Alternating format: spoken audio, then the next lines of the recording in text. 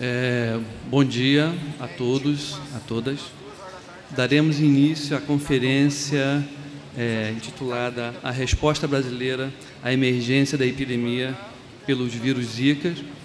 E para apresentar, né, eu tenho a satisfação de convidar a professora pesquisadora Celina Martelli, é pesquisadora da Fundação Oswaldo Cruz, do Centro de Pesquisa de Magalhães, em Recife. A professora tem 30, 40 minutos para falar, para fazer a sua apresentação.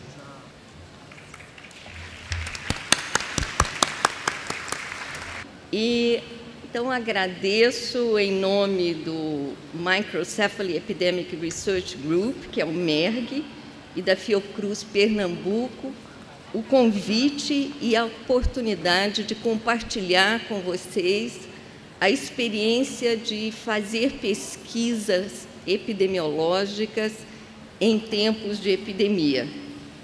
O grupo MERG, né, que é esse grupo aqui, né, é formado basicamente por epidemiologistas, clínicos, gestores, profissionais de saúde de diferentes instituições do setor público que atuaram na linha de frente da epidemia de microcefalia.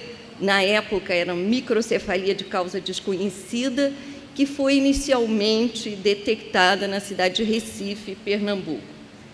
Então, é uma honra e um desafio estar aqui hoje para apresentar para os pais os antecedentes da, epidemiológicos dessa nova arbovirose, os marcos epidemiológicos da descoberta brasileira dessa nova síndrome congênita associada à infecção pelo vírus Zika. E gostaria de dizer que, na minha opinião e na opinião dos, de muitos especialistas, a rápida e a intensa articulação dos setores públicos, seja da vigilância epidemiológica, da Secretaria de Pernambuco, do Ministério da Saúde, da Organização Pan-Americana de Saúde e das instituições de pesquisa, foram fundamentais para se estabelecer os nexos epidemiológicos em curto espaço de tempo para o alerta nacional e internacional para esse início de estruturação de um sistema de monitoramento e para o estabelecimento de prioridades em pesquisas. Então, olhando pelo retrovisor hoje, eu acho que eu posso dizer que tomamos as decisões, seja do ponto de vista de saúde pública e de pesquisa, né, elas foram acertadas, embora não tenham sido fáceis, frente à complexidade e o impacto social dessa epidemia. Vou começar pedindo desculpas por não apresentar aqui as importantes contribuições dos cientistas de área básica do Brasil, é? pois eu optei por compartilhar muito mais a experiência de epidemiologista e de pesquisa epidemiológica com vocês. Bom, eu vou me basear num contexto epidemiológico de 2015, como estavam as arboviroses conhecidas, o aparecimento da síndrome de Guillain-Barré pós um surto agudo, uma epidemia aguda do que se chamava de dengue-like no Nordeste, seguido pela epidemia de microcefalia e as emergências de saúde pública e as questões relativas à pesquisa. Bom, esse é um gráfico, todo epidemiologista adora gráfico, e essa série histórica de dengue não é, que mostra esse aumento ascendente não é, dessa arbovirose já muito conhecida por, por a gente, chegando ao ano de 2015 com uma espantosa né, recorde de 1,5, 1,6 milhões de casos notificados no Brasil. O que eu acho que é importante trazer desse gráfico é que a dengue, essa transmissão urbana, não é, conhecida, a caracterização de sazonalidade, períodos epidêmicos, mas uma coisa que a gente tem um pouco, às vezes, dificuldade de entender é a questão da distribuição espacial, que ela é heterogênea, seja regionalmente, seja entre, é, entre áreas da cidade. Lembrar que o Brasil, quatro sorotipos circulavam e esse mapa, esse mapa ou esse gráfico mostra precisamente a grande dificuldade de controle vetorial em ambientes urbanos de extrema desigualdade social. Bom, e do ponto de vista de vigilância, eu vou trazer aqui só três fotografias de jornais da época. Né? Essa mobilização em relação à Zika, eu lembro que o grande mote é Zika mata, e naquele ano já tinha sido o pior ano da série histórica desde 1990, com 863 mortes confirmadas por dengue. Então, dengue era o grande foco e a grande preocupação do Ministério da Saúde naquele momento.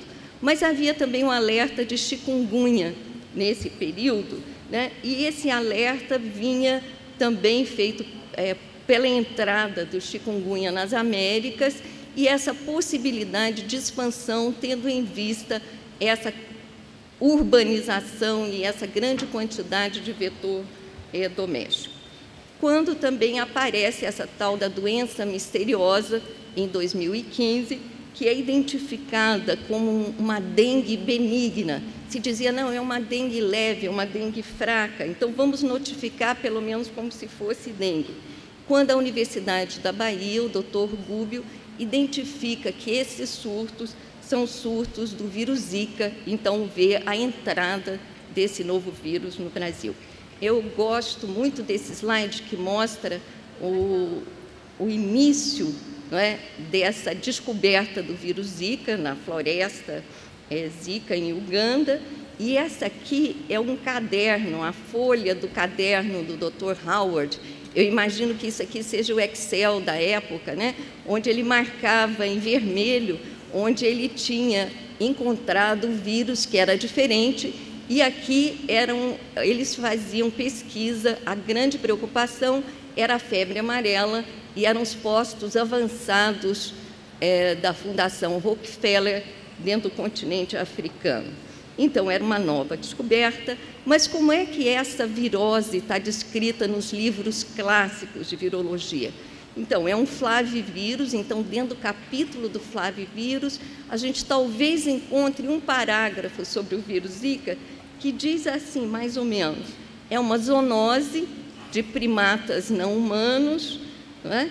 É, os casos humanos são esporádicos e considerados benignos, não tem nenhuma ah, informação de associação de manifestações neurológicas, seja na população adulta, seja pela questão da transmissão vertical.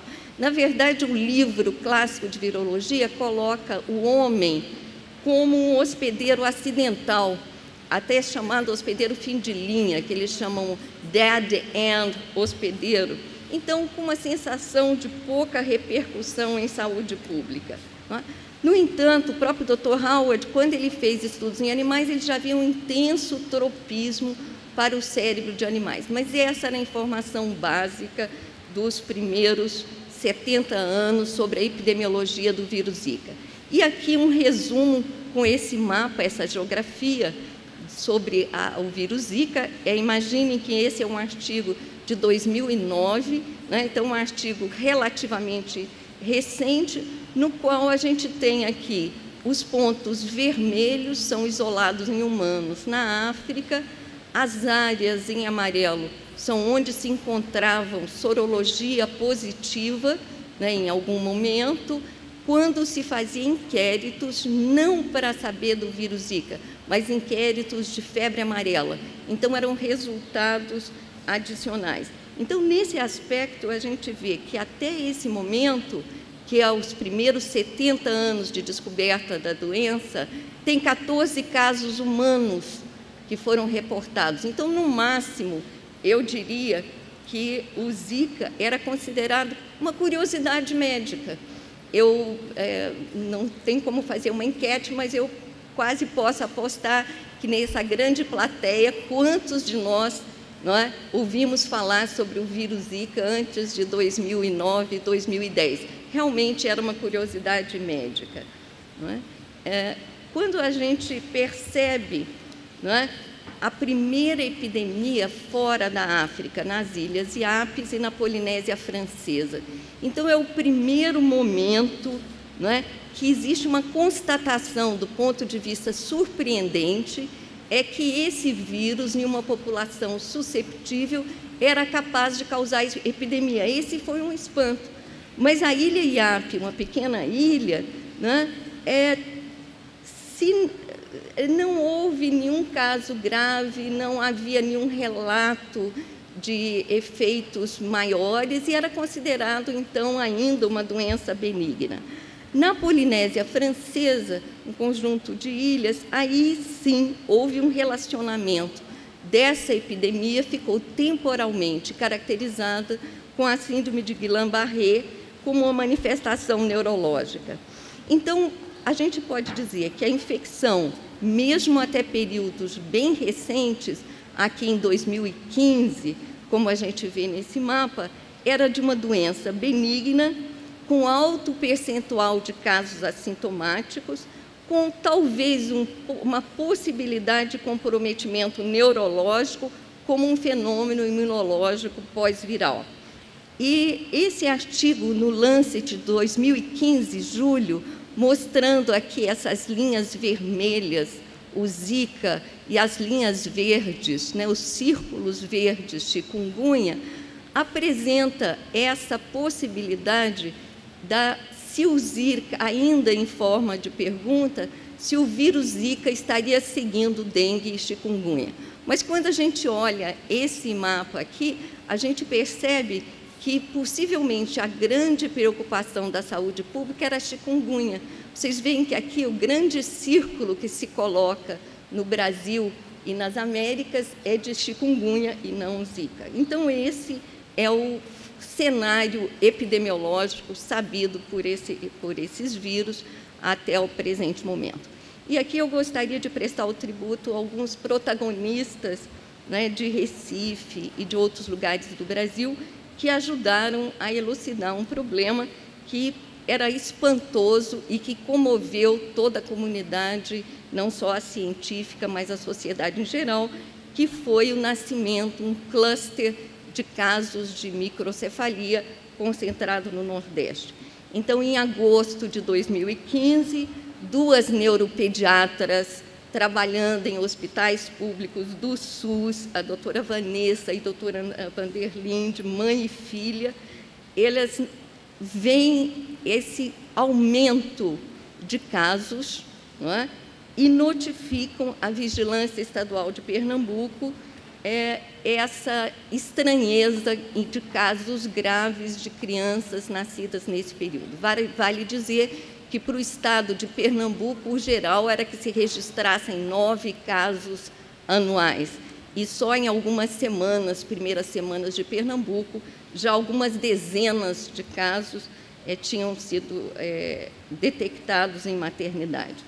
Então, viu-se logo que esses casos não estavam restritos a Pernambuco, não estavam relacionados às doenças congênitas conhecidas, e aqui chama a atenção que ainda em outubro de 2015, um infectologista, Dr. Carlos Brito, de Recife, ele escreve para um jornal ou para uma revista portuguesa, um editorial, onde ele aponta a possibilidade dessa hipótese, tendo em vista a temporalidade entre uma, um surto agudo de doença infecciosa, dengue-like, mas que era zika, seguido por síndrome de Guillain-Barré em alguns pacientes, e seis meses depois, o aparecimento desse surto de microcefalia.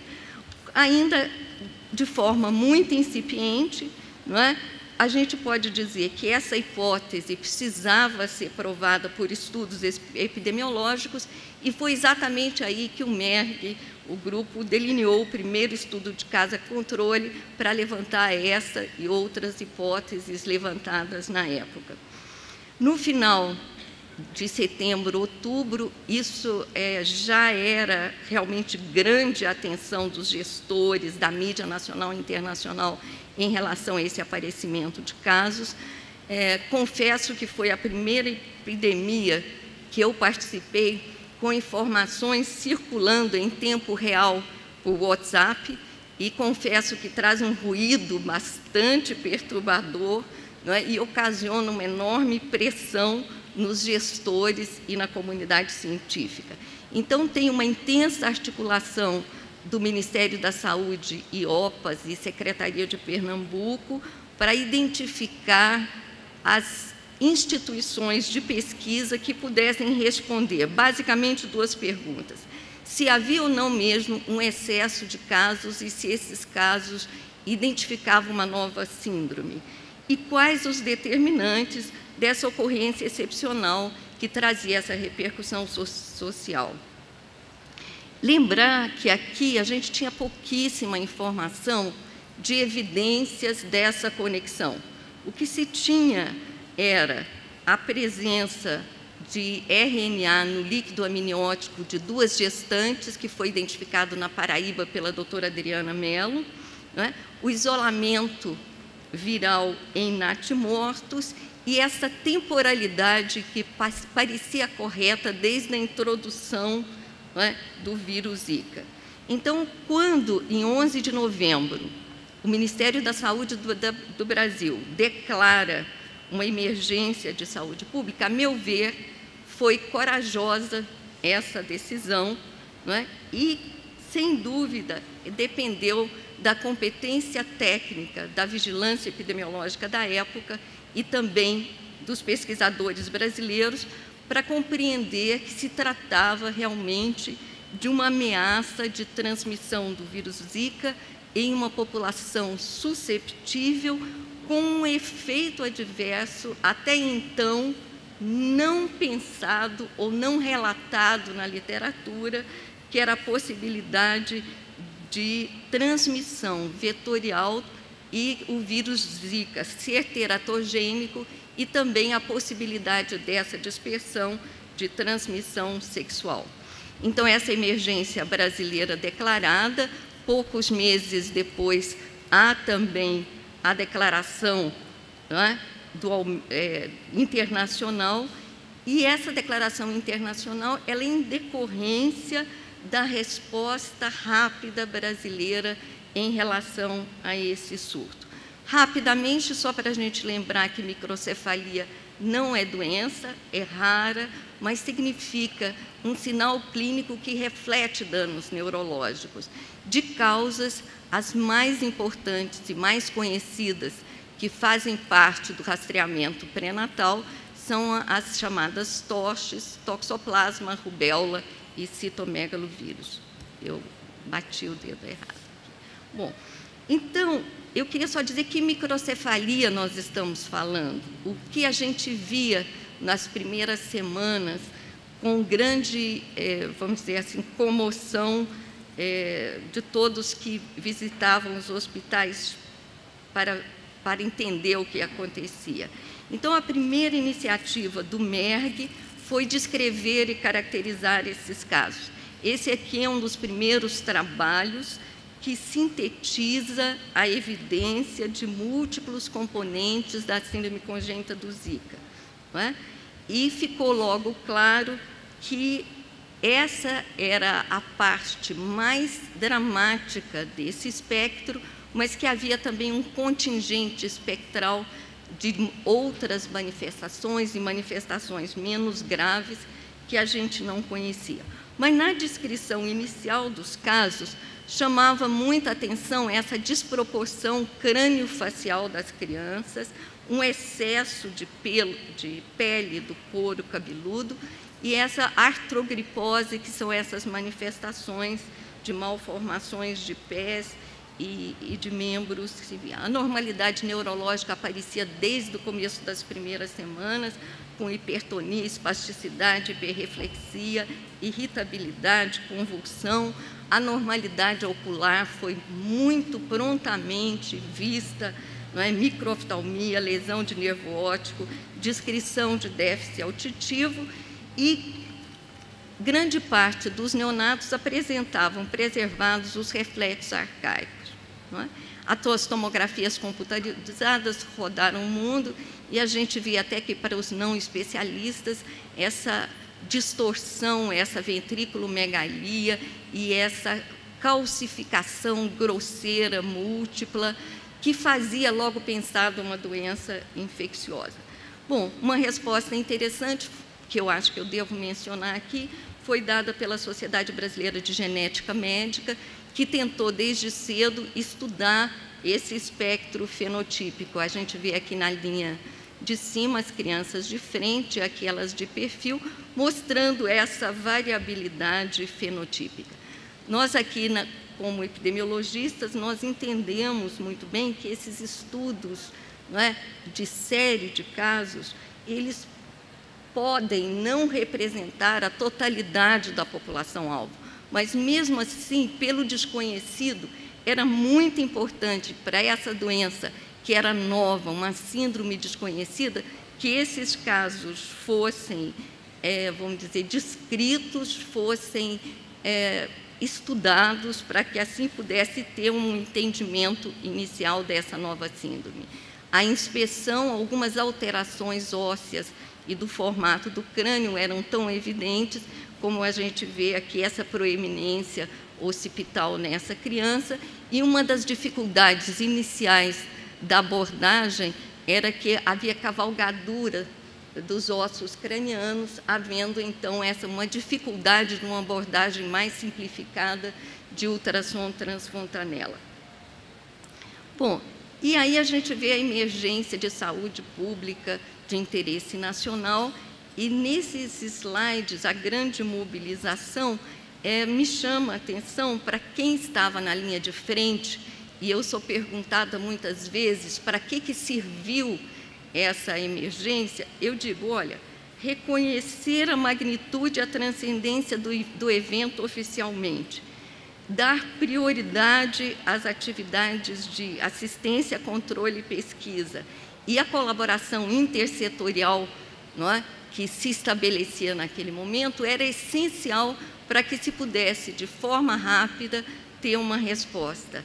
Aqui eu não sei se é possível ver, mas pela primeira vez se tem um slide de um flavivírus ou uma cartilha educacional onde a, o Zika aparece uma gestante já dando conta dessa transmissão congênita e desse potencial teratogênico do vírus Zika como uma forma de alerta não só para os locais de maior área, mas principalmente para os locais onde a transmissão ainda não tinha chegado. Bom, e o que me parece, o que, que a gente aprendeu nesse período, é? que eu digo o que, que nós aprendemos? Nós aprendemos a usar várias terminologias. Uma delas foi fast track, nós queríamos tudo rapidamente. É? Então, outra coisa que nós aprendemos rapidamente é a necessidade, a colaboração entre os grupos de pesquisa passou a ser uma exigência. Compartilhar protocolos, dados, fazer análise conjunta passaram a ser parte da nossa rotina de trabalho. Eu acho que nunca se trabalhou tão próximo com a Secretaria de Saúde e com o Ministério, a Secretaria de Saúde firmando protocolos de cooperação com as instituições de pesquisa e com os laboratórios de referência, os laboratórios de referência abrindo as suas portas, principalmente nos, nos epicentros da epidemia, é? eles foram mobilizados para atender essa crescente demanda é? e essa exigência de testes laboratoriais no, no período. É? E eu acredito que foi só através dessa profunda articulação entre os serviços de saúde e pesquisa foi possível dar uma resposta ágil e adequada durante o período de emergência. Na abertura desse congresso, eu escutei muitas falas importantes, mas teve uma que eu gostaria de, de citar, da doutora Maria Amélia Veras, ela citou o papel da solidariedade e mobilização da comunidade de saúde pública, academia e serviços em tempos difíceis. Não só eu concordo plenamente, e eu quero aqui confessar, testemunhar que eu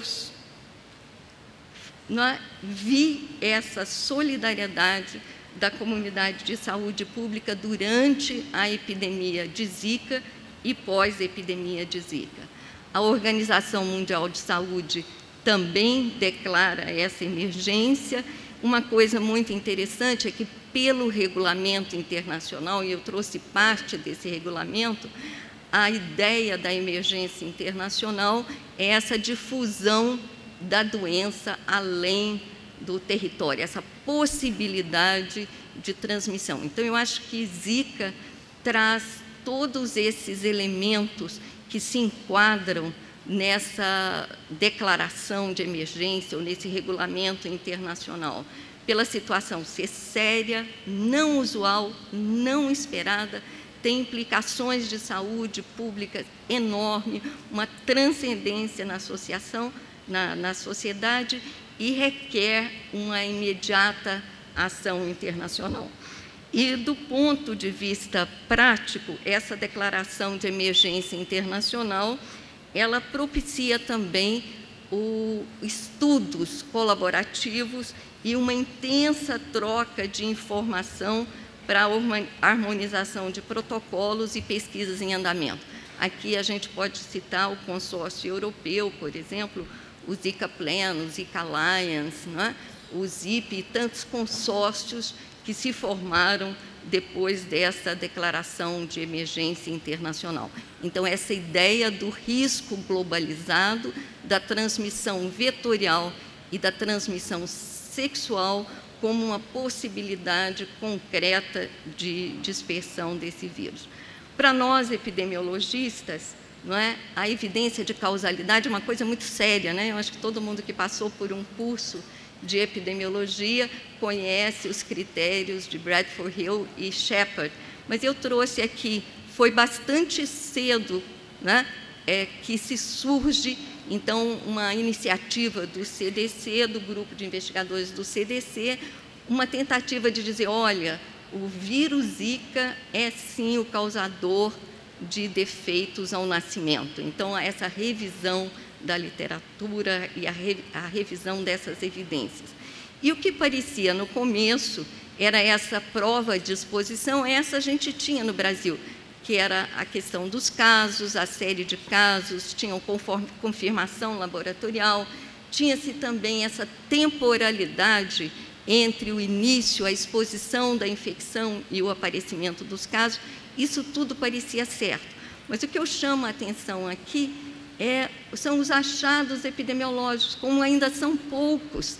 É? Naquele momento, só tinham dois estudos epidemiológicos que faziam parte dessa, dessa revisão. Primeiro, essa, esse estudo magnífico é, da coorte do Rio de Janeiro, onde os pesquisadores aqui da equipe da doutora Patrícia Brasil, ela utilizando uma coorte em andamento para ver efeitos de dengue, ela oportunamente utiliza essa coorte para ver também a entrada de Zika.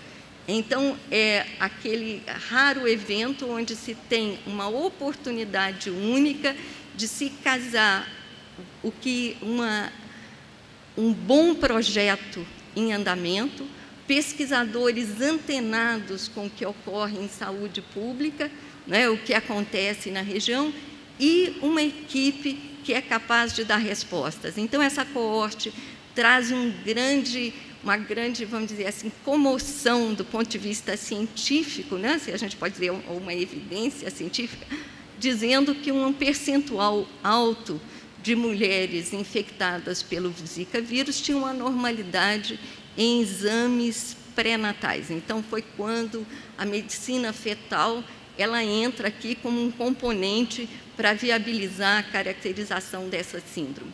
E do ponto de vista retrospectivo, o que a gente tinha era que a Polinésia Francesa, é? que tinha havido um surto lá, mas onde o aborto, a terminação da gravidez é permitida porque são as leis francesas, eles não tinham observado o aumento de anormalidades fetais durante a epidemia, mas com um alerta brasileiro eles fizeram um estudo retrospectivo e mostraram evidência, sim, que 1% dos fetos que tiveram a, terminado né, a gestação por motivos de malformação congênita eram por causa de Zika. Então, até então, são esses dois artigos que se tinha na literatura a respeito quando os critérios foram preenchidos. Bom, aqui eu vou dizer que, do ponto de vista de aumento né, de artigos, a gente tem aqui claramente essa, as linhas verde e azul mostrando a pouca produção do conhecimento, né? Mas aqui nesse período quase uma epidemia de artigos científicos, mas eu vou dizer que grande parte desses artigos científicos são revisões, são artigos de opinião, são cartas e que a grande produção mesmo de conhecimento dos casos ela começa a partir do Brasil e de outros países da América Latina. Bom, eu gostaria de recomendar esse livro. Eu acho que é, foi muito interessante o esforço do Ministério da Saúde de produzir, documentar o que tinha ocorrido dentro dessa excepcionalidade. Vocês vejam aí que aqui nós temos Zika, o Zika vírus no Brasil, a resposta do SUS. Então, é um grupo extremamente comprometido da vigilância naquele momento em documentar todas as etapas e trazer isso a público. Eu recomendo a leitura, não é? também a de produção de conhecimento, essas orientações integradas de vigilância, não é? colocando a infecção pelo vírus Zika e outras etiologias infecciosas para ser abordado dentro da capacidade operacional do SUS. Temos aqui também, partindo do grupo do Ministério da Saúde e grupos de epidemiologistas do Rio Grande do Sul e de outras áreas, esse mapa mostrando na primeira onda epidêmica aqui um espantoso 1.600 casos de microcefalia confirmados num período de cinco meses e aqui uma dispersão em 532 32 municípios. Esse aqui já é um mapa do que se considerou a segunda onda epidêmica, mas que a gente não tenha essa noção que os casos desapareceram. As doenças causadas por arbovírus, elas têm essa característica de heterogeneidade da distribuição e é importante que a gente esteja alerta em todos os casos. Né?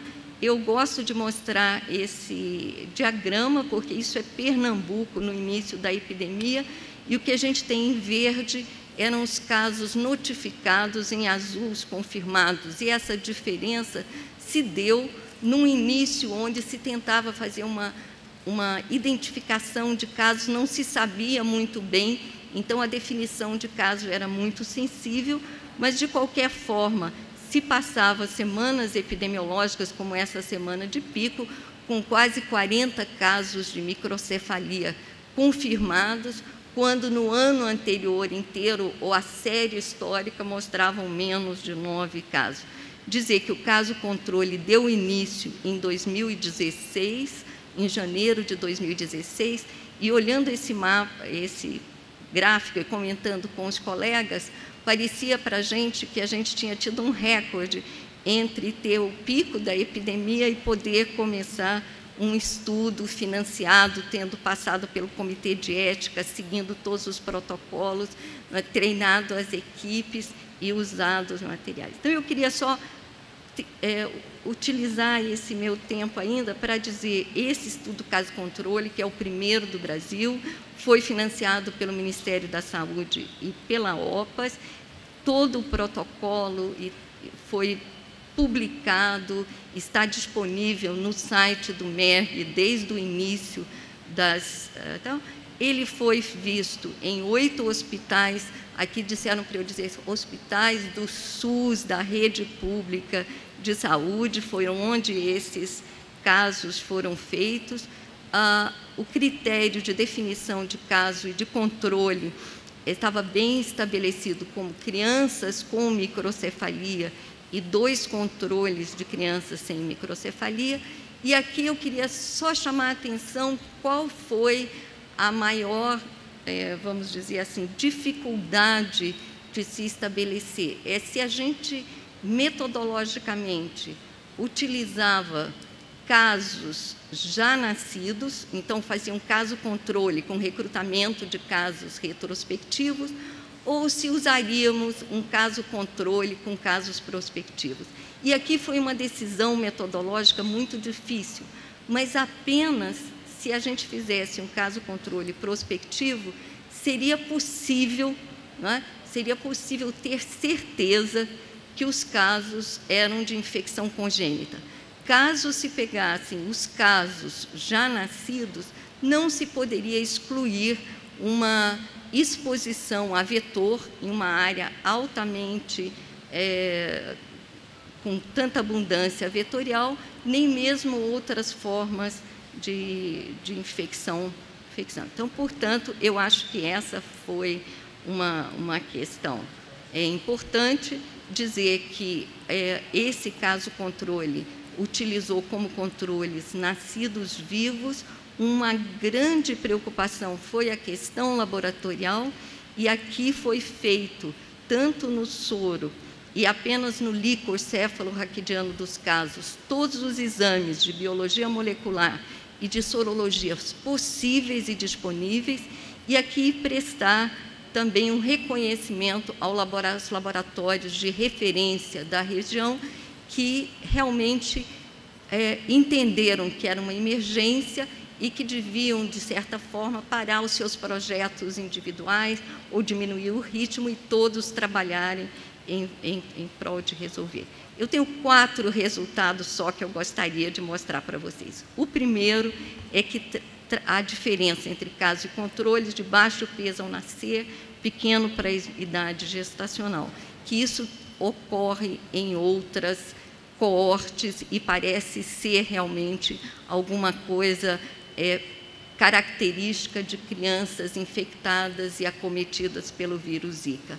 A outra resultado que eu acho importante é que quando se analisa outros fatores de risco, nem álcool, nem o uso da vacina, nem o piriproxifem usado em larvicida, que foi, mostrava uma associação com microcefalia.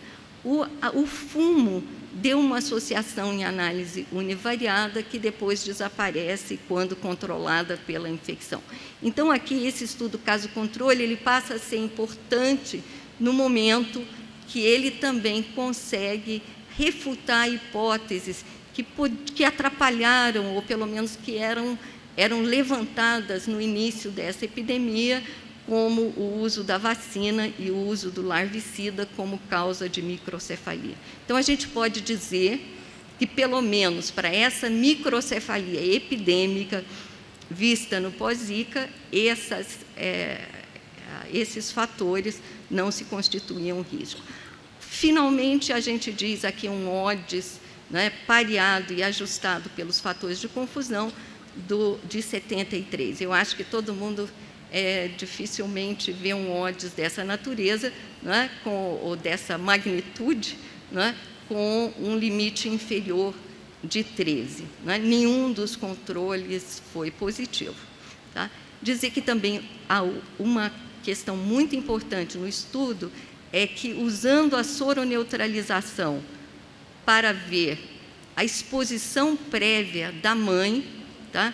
Se obteve a positividade de 60%. Isso já levando em conta toda a possibilidade ou excluindo qualquer possibilidade de reação cruzada, o que dá quase 60% de infecção na primeira onda epidêmica do Zika. Isso eu acho que dificilmente a gente vê em outras infecções virais e é muito coerente com os estudos, com os outros estudos. É, pela primeira vez, eu vi resultados preliminares de um caso controle ser publicado, que foi publicado ainda o ano passado, mostrando a forte associação, e agora aceito para publicação na mesma revista a associação e os outros fatores de risco. Então, comprovando a força da associação e excluindo esses outros potenciais fatores de risco. Duas questões que são limitações do estudo. Nós nós trabalhamos com microcefalia para estudo de caso. Então, esse estudo não diz a respeito da o espectro total. Mas microcefalia é o que tínhamos no momento e até hoje uma definição não é, é definitiva sobre síndrome congênita do, do Zika ainda é objeto de discussão. E a gente só quer reforçar que para saber o risco dessas outras manifestações, temos aí as coortes em andamento. Outra limitação do estudo é por mulheres, casos e controles terem sido pareados por área de residência, não é?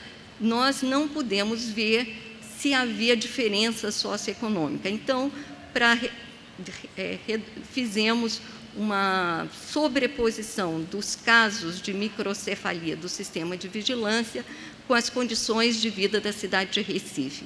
E aqui os parâmetros mais escuros são os piores em relação às condições socioeconômicas. E é muito claro ver que os poucos casos de microcefalia que são em áreas de melhor poder aquisitivo, né? mostrando que não tem, pelo menos, não é aquela questão de flavivírus é democrático. Não, eu acho que tem populações mais expostas a uma heterogeneidade intraurbana que tem que ser considerada em relação a isso. Bom, qual é o panorama pós-emergência? Rapidamente tem as coortes em andamento, não é?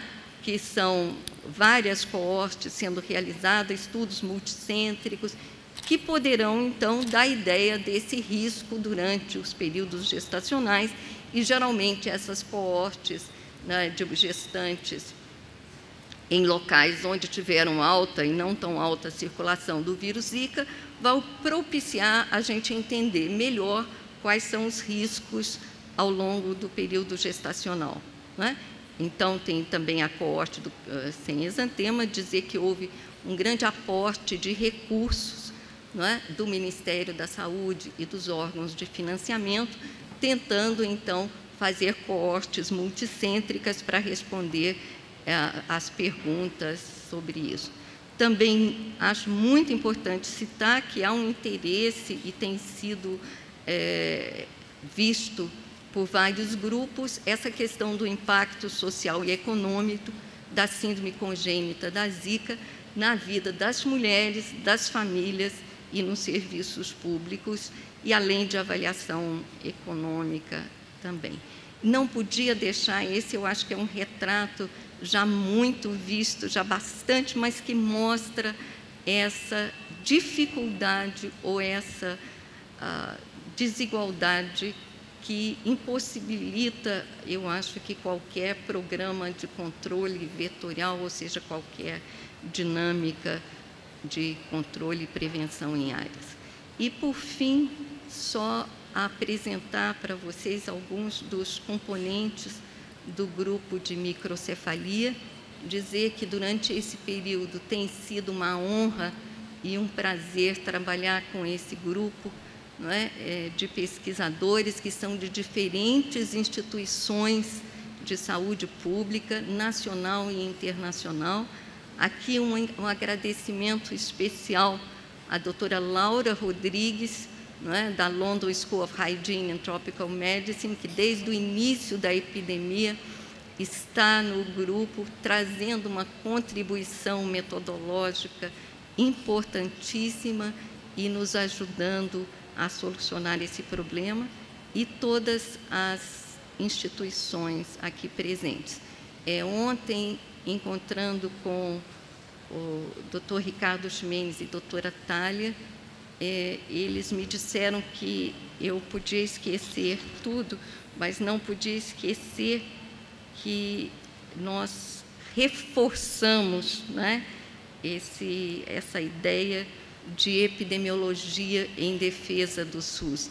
E eu só penso o que teria sido dessa epidemia se, ao invés do SUS e das instituições de pesquisa, nós tivéssemos todos os serviços terceirizados. Muito obrigada.